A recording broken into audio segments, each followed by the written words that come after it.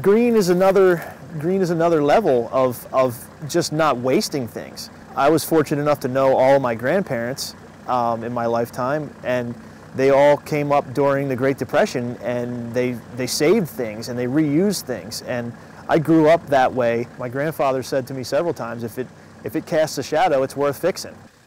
I had interest in finding alternatives to uh, running our cars on oil and providing energy security.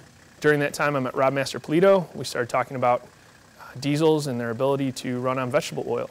He said, you know, you can run a diesel engine off of vegetable oil. And I said, well, it's fantastic, but they run fine on diesel fuel. You know, what do you want me to do? And then, you know, he pointed out that it's a waste product. You could basically burn something that people don't need anymore in your car. And it's like, of course, it's a no-brainer. I thought that was a, a pretty neat idea. So I bought an old 1983 Mercedes-Benz, uh, quite a rust bucket, and uh, converted it. Bought a kit online uh, that allowed me to run it on straight vegetable oil.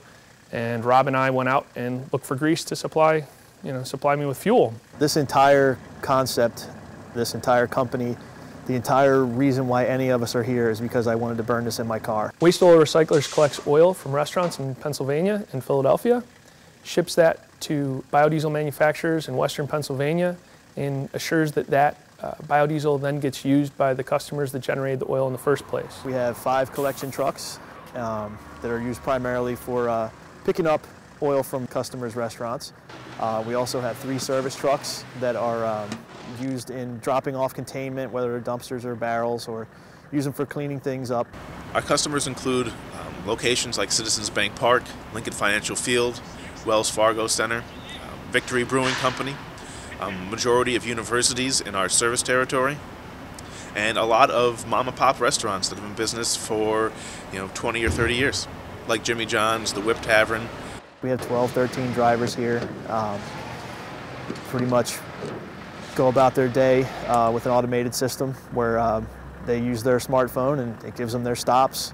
They know where to go, they know where they're going next, and enter their data that way. So it's it's live and uh, allows us to service the customers down to the minute, basically. When a customer calls us, someone picks up the phone. There's no answering machine or callback days later. At the end of the day, we're a reliable service that really takes care of their customers, really cares about their customers' needs, and we recycle the cooking oil into biofuel. And in that way it completes the whole life cycle of that material, from waste through processing and then back into fuel again.